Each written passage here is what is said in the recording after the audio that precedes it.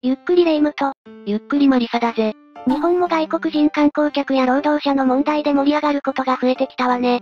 しかもあんまりいい話題を聞かないよな。そりゃそうよ。日本語も理解しない、日本文化を理解しない人は嫌われちゃうわよ。豪に言っては豪に従えか。そういう考えは多いけど、先鋭化したら危険だよな。歴史ではそれが大事件に繋がっているし。大事件生麦事件だ。1862年、薩摩藩の前藩主島津久光の一行が、横浜近郊の生麦に差し掛かった時、行列を遮ったイギリス人を薩摩藩士が切り殺した事件だな。ああ、あれはテロみたいなものじゃないの？天中みたいな。それがそうでもないんだな。じゃあ今日は日本が恐れられた大事件生麦事件の謎について見ていこう。それじゃあゆっくりしていってね。当然寺事件。まずは生麦事件にも大きな影響を与えた当然寺事件についても見ていこう。これは、江戸高輪当然寺に置かれていたイギリス仮公使館が襲撃された事件だ。ちなみに1861年水戸老氏によって、1862年松本藩士によって2回発生している。そんなに頻繁にあったの？どうして？開国後、国内は物価上昇が進み、特に下級武士や庶民の生活は苦しいものとなった。その原因が、日本と外国の金銀に対する価値の違いだった。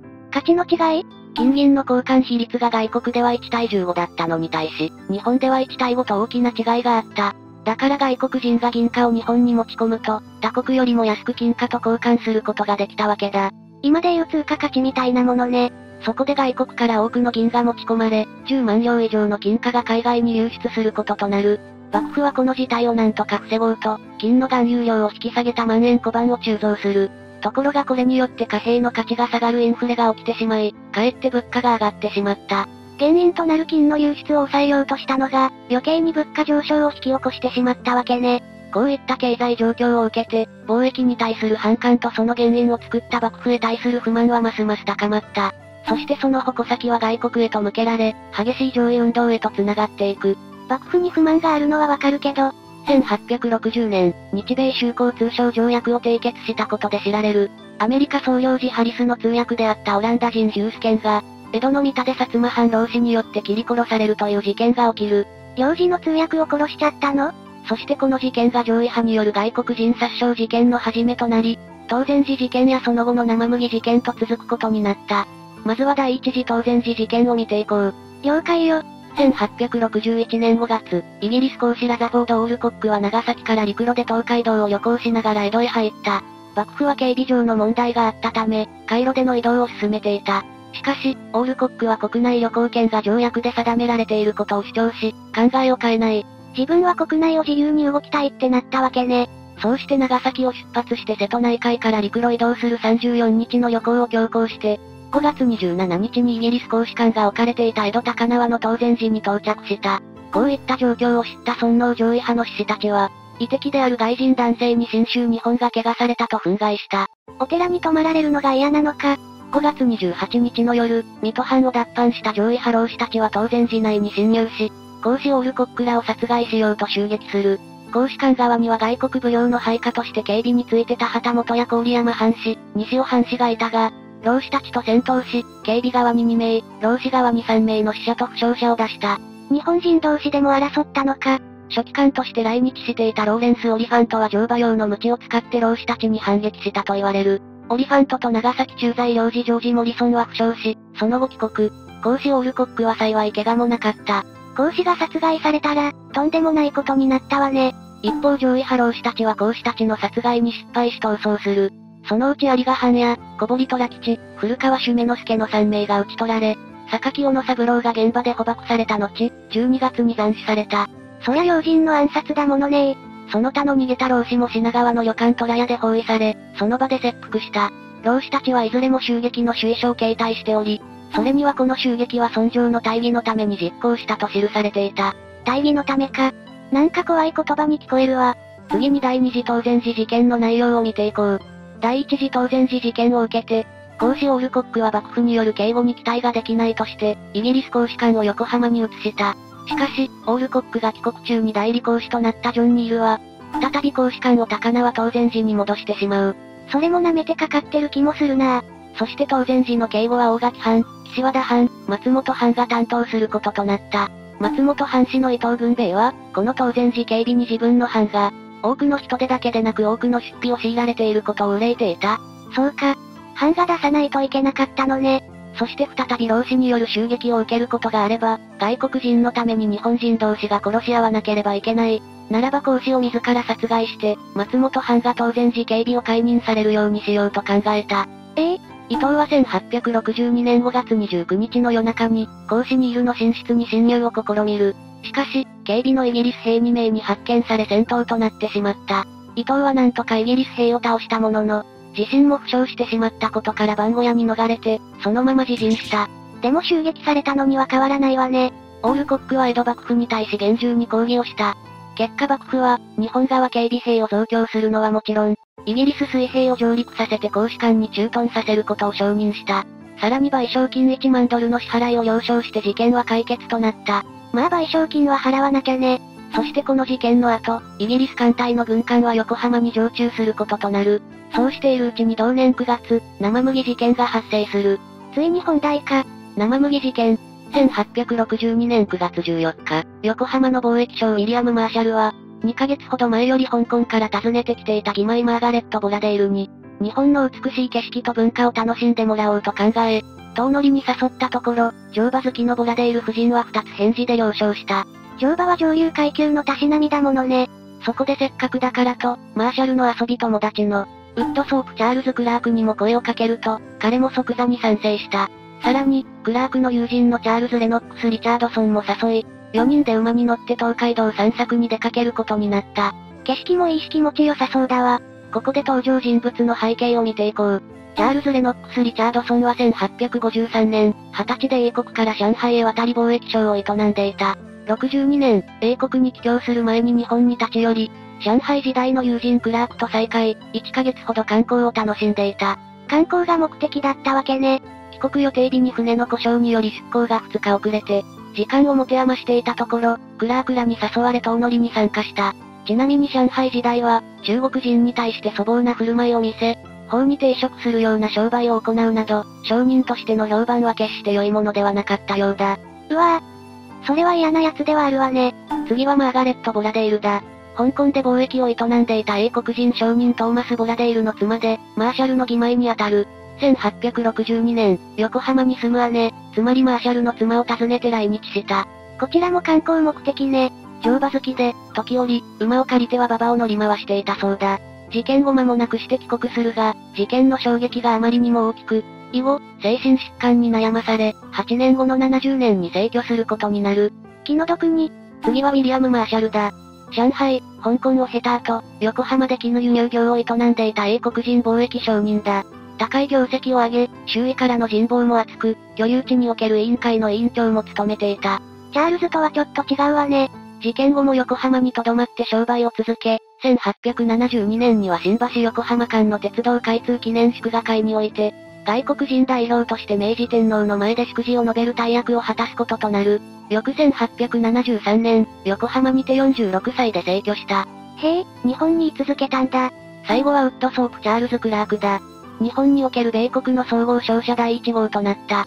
貿易商社ハード商会で、キートの検査員として働いていた英国人だ。1860年に上海支局に派遣された際に、同郷のリチャードソンと出会った。異国の地で同郷同士仲良くなったのね。さて事件に戻ろう。美しい景観を堪能しながらゆっくりと馬を進ませていた4人は、午後2時頃、生麦村に差し掛かった。しかし昼間だというのにやけに静かだった。人々はなぜかすっかり家の中に閉じこもってしまっているようだった。どうして？しかし、そんな変化もさほど気に留めず、4人はそのまま北東方面へと向かう。すると間もなくして、前方に陣傘をかぶった人々の行列が近づいてくるのが見えた。あ、大名行列が来るから人がいなかったのね。日本の文化や慣習にさほど明るくない彼らでも、大名のことや上位派による外国人殺傷事件のことは話に聞いていた。しかしそれらの被害者は政治外交関係者であり、民間人の彼らが突然、襲われるようなことはまずないと思っていたんだろう。ただの商人と友人たちだものね。4人は武器を一切所持しておらず、ましてや、大名に対して下馬して敬意を表すなどといった知識は全く持ち合わせていなかったようだ。まあ本来は、島津久光は藩主ではないので、大名行列とは呼べないのだが、ここでは便宜上、大名行列と呼ぶことにしよう。まあイメージしやすいしね。4人の中で一番年上のマーシャルはこの行列を目の当たりにして緊張を覚え、他3人に道の端に馬を寄せて進むように指示した。リチャードソンが道の内側、ボラデール夫人が外側で2列に並び、その約10メートル後ろにマーシャルとクラークが続いた。馬には乗ったままだけど、道は譲ったのね。4人はまず、先導組とすれ違う。そしてどうにか難なくやり過ごしたのも束の間。それよりはるかに大規模な本体の行列が迫ってくるのが見えた。ふんふん。今度ばかりはさすがに圧倒された4人だったが、それでもまだ危機感を感じるまでには至っておらず、そのまま馬の動きに身を任せて前進。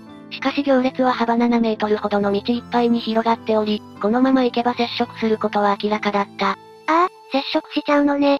故障組の男たちが、すれ違いざまに憤った表情で手を激しく振り、口々に脇に寄れ、と叫んでいた。しかし先を行くリチャードソンとボラデール夫人は日本語がほとんど理解できない。観光できたくらいだものね。そして内心動揺し、判断に迷っていたリチャードソンの手綱さばきが乱れ、その拍子に彼の馬がボラデール夫人の馬に接触し、馬の足が溝に落ちた。すると馬は平静さを失い、意図せずして行列に入り込んでしまったんだ。ありゃ、馬が興奮しちゃったのか。そこに友頭の奈良原木左衛門が血相を変えて駆け込んできて引き返せ、と怒号を浴びせた。後ろに続いたクラークは危険を感じて引き返そうと大声で呼びかけ、それを聞いたリチャードソンとボラデール夫人は慌てて場所を変えそうとする。馬は危ないものね。しかし行列が道いっぱいに広がっているためうまくいかない。二頭の馬はますます深く踏み込んでしまい、行列の進行を完全に妨げてしまった。ああ。馬がなおさら興奮したのか。奈良原は怒りに満ちた声で無礼者、と叫んで抜刀し、リチャードソンの左脇腹を深く切り上げ、そのまま刀を返して左肩から切り下げた。これを皮切りに4人の故障組の侍がマーシャルたちを一斉に襲撃した。い、いきなり？立ちを浴びた男3人は、暴れる馬の首を必死に返してその場から逃れ、元来た道を一目散に駆け戻った。先にすれ違った先導組の行列がこの様子を遠巻きに眺めていた。先導組もびっくりしたでしょうね。しかし右手で脇腹を押さえながら、うずくまるようにして馬に身を預けていたリチャードソンが通り抜けようという時、鉄砲組の木村春吉が道の中央にずいと踏み出して刀を抜き、すれ違いざまにリチャードソンに切りつけた。またリチャードソンを切ったの？木村のたちは、傷口を押さえていたリチャードソンの右手を落とし、さらにすでに切られていた脇腹を再びえぐった。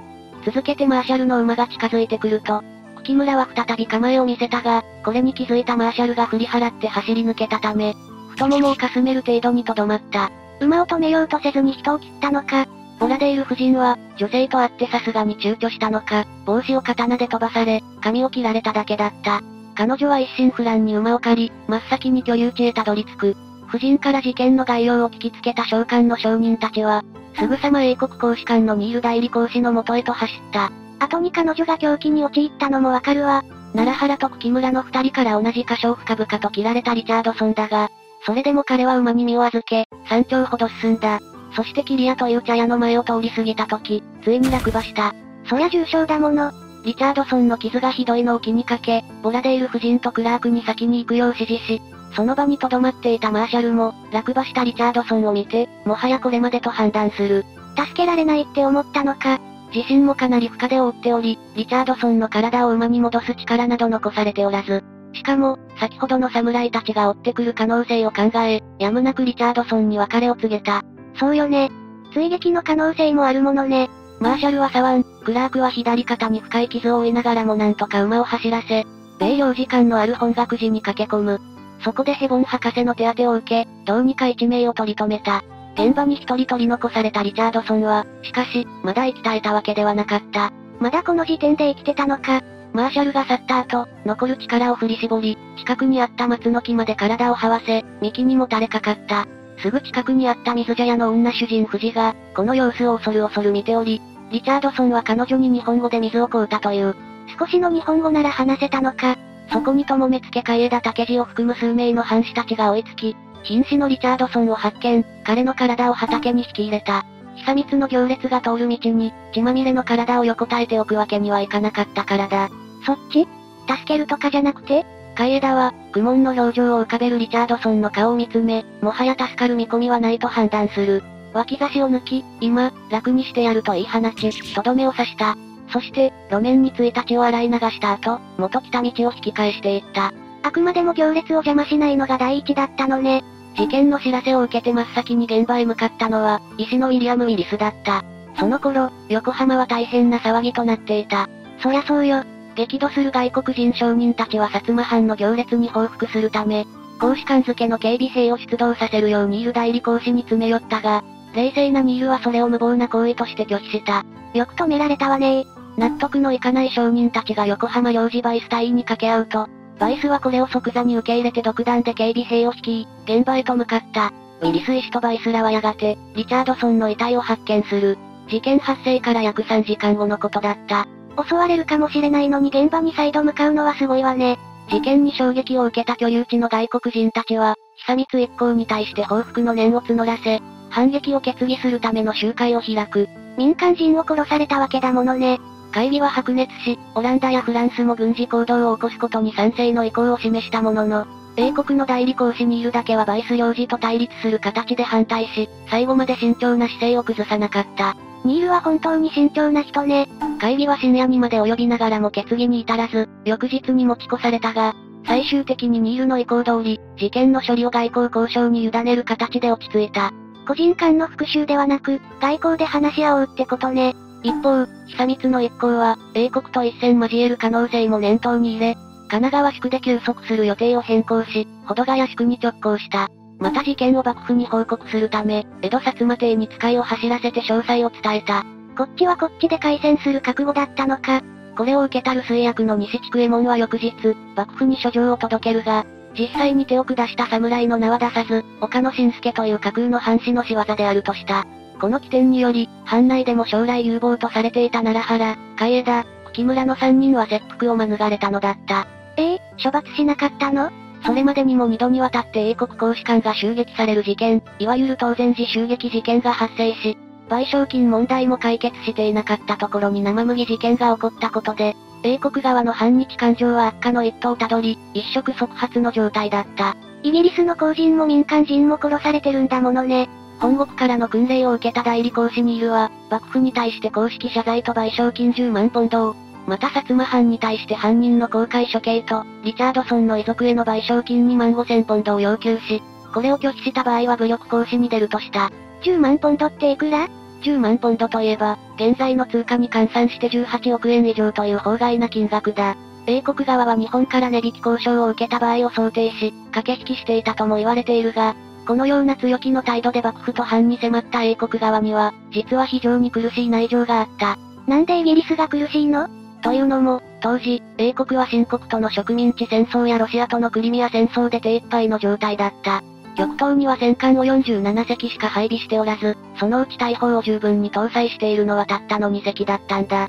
戦力が足りてないのねその上、戦争となれば莫大な兵力と戦費が必要になる。威圧的な態度は言ってみれば虚勢に過ぎず、本国はともあれ、中日公使及び派遣軍に戦闘を開始する気などさらさらなかった。賠償金で収めたかったわけね。英国の要求に対し幕府や藩側が策を講じ、半年間ものらりくらりと回答期日を延期するという対応がしぶしぶ受け入れられていたのも、こういった事情が背景にあったからだと推測できる。正直なところ、イギリスは戦いたくはなかっただろう。イギリスに開戦の意思はなかったわけね。しかし、そのような英国の内情など知るはずもない薩摩藩の内部では、ある方向へと全てが異常な勢いで動き始めていた。そして日本の行く末に大きな影響を与える撮影戦争へと繋がっていく。そうか。結局薩摩藩とイギリスは開戦しちゃうんだものね。生麦事件はなぜ起きた？まずは日本の文化関連に対する英国人たちの認識の低さだ。江戸時代以降、大名行列は大名の権威と格式の象徴とされるようになった。参勤交代などは、大名の規模によって参列人数が定められており、藩が負担する費用もかなりのものだった。すっごいお金がかかるから、幕府も参勤交代をさせたんだものね。それだけに行列の前を横切ったり、列を乱したりするような行為は無礼とされ、そのようなものは現場で切り捨てること、つまり無礼打ちが公的に許されていた。ちょっとの足止めが大きなマイナスにつながるわけね。生麦事件発生の少し前に同じく行列に遭遇した米国人の友人バンリードは、日本の文化や慣習に精通しており、下馬して脱帽した上で膝をつき、行列に敬意を示したため何の問題も起こらなかった。ああ、知っている人は知っている慣習だったんだ。しかし事件の被害者となった英国人たちは認識が甘く、最悪の結果を招いた。バンリードは彼らについて自ら招いた悲劇と非難しており、また英国外務省も内々に英国側の非を認めていたとも言われている。日本文化への理解が低かったのは良くなかったってことね。次は外国人に対する強い反感と上位殺傷を英雄行為とする風潮だ。ペリーの来航以来、欧米各国との条約締結が進んで下田、函館、浦賀、横浜などが次々に開港され、周辺地区では各国の外交官や貿易商人の姿が日増しに多くなっていた。今までは鎖国してたからねその一方で初版では外国人たちは尊大な態度で日本人に接して神聖な国土を汚し、身勝手な商用を行い日本の経済に打撃を与えていると見られており、各地で上位論が渦巻いていた。何回までも聞いたことがある意見だわ。上位殺傷は一般に英雄行為として称えられており、外国人たちの傍若無人な振る舞いを見聞きしては上位気分を高ぶらせていた藩士も多かったんだ。外国人を懲らしめるのが正義となっていた風潮があったのね。生麦事件でリチャードソンに二の太刀を浴びせた木村春吉は、後年の回顧録で、私ども殺犯の若侍は、偉人となると切ってみたかったものだ。しかし、やたらに切るわけにはいかない。実際、不詳外人がかけてきた時はごちそうが来たなと思ったと語っている。これは言ってみれば偉人への差別感情よね。次は各国公使館に通行自粛要請を正式に行わなかった幕府の落ち度がある。日頃から乗馬を好み、行楽地や名所を自由に訪れていた外国人と、それを快く思っていない藩士たちの接触によって起こりうる事態を懸念していた薩摩藩は、各国大使に当てて注意を促すよう、幕府に要請していた。あまりよくは思われてないから危険ってことね。これを受けて幕府は、米、英、仏、蘭の各国公使に当て、薩摩藩をはじめ諸藩主の行列と出会った場合は日本の慣習に従って礼を尽くすよう、書状を送っていた。あら、幕府も出してたんじゃない。実際に9月15日に直使の大原重富が江戸を離れることが決まった折には各国公使に、直使一行の行列が東海道を通行するゆえ、付近に出かけないようにとの通達を出す。しかし、幕府は、大原に先立って前日に江戸を出立する久光のことには触れていなかった。それも言わなきゃダメじゃない。そもそも事件現場は外国人たちにとっての遊歩地域内であり、外国人の通行の安全を保障することは幕府の義務だ。この規制要請を正式に発行しなかったことは明らかに幕府側の不手際だったと言える。そうね。徹底すべきだったわね。生麦事件はテロではない政治的な主張を暴力による恫喝で行うことをテロというが、生麦事件の場合は異なる。脱藩浪人が、居留地の近くで外国人を待ち伏せて殺害するのはテロで間違いないが、藩士が、血筋に当たる人を警護している時のことで、職務として切ったとも言える。そうか。切り捨てごめんだったんだものね。当時の日本は非文明国とみなされていた。桜田門外の変があったりと、現代に当てはめると、首相級の人が暗殺される正常不安な発展途上国に相当するわけだ。わかりやすい例えね。そんな国で、要人を警護する車列に外国人の車が割り込んだら、その場で警察官に射殺される可能性だってある。ましてや、撃った警察官のことをテロリストとは呼ばないだろう。確かにそうね。ただ、テロではないからこそ大事件なんだ。命令に基づき、職務として切ったからには、その場の命令系統のトップに当たる久光は、事件の責任を免れないということになる。テロじゃないからこそ、トップが責任を取るべきなのね。瀕死のリチャードソンを解釈したのも問題だ。もはや助からないとしても手当の真似事くらいしておくべきだった。無残に惨殺された以外を現場に残して立ち去ったことで、居留地の外国人たちの感情を害してしまう。そうよね解釈なんて納得できないわよねそして薩摩藩の事後の対応は、お世辞にも立派とは言い難い。幕府に宛てた最初の届けでは、浪人らしい者が不意に現れて外国人を切ったという、虚偽の報告だ。これは本当にひどいわ。久光に責任が及ぶのを回避するために、突如として現れたテロリストの犯行ということにしたかったんだろう。むしろ薩摩側がテロにしたかったわけね。そして結局賠償金の交渉はまとまらず、撮影戦争に発展していくわけだな。日本の文化を知らなかったイギリスにも落ち度があるけど、それだけじゃなかったわね。当時のことだから日本人に差別感情のあるイギリス人も多かっただろう。だから慣習も知らなかったし、自分たちの権利を最大限優先すべきだと考えて行動していた。それは間違いなく批判させるべきだし、落ち度でもある。でも日本人にも外国人に関する差別感情があったんじゃない？そうだ。自国の政治がうまくいかない原因を安易に外国人のせいと考え、さらに外国人を撃つことを正義として捉えていたのにも問題がある。しかも末端だけじゃなく藩主のような立場でもそうだった。本来は対極的に考える立場なのに、安易な解決法にすがったのね。今の日本だって同じだ。安易に様々な理由を外国人のせいにしちゃいけない。身につまされる話ね。もちろん他国に来たならその文化を尊重すべきだが、それはその人の母国の文化を捨てさせることじゃない。そもそも日本人だって日本の文化を完全に理解も尊敬もしてないのに、それを強要するなんておかしな話だ。外人が絡むと、急に愛国者ぶる人っているものねそもそも文化や民族、人種なんて簡単に理解できるものじゃない。だけどお互い押し付け合ったら、生麦事件や撮影戦争のように武力で衝突するしかなくなってしまうからな。そんなの誰も望んでないだろ。私たちはうまく付き合って混ざっていけるようにしたいものね。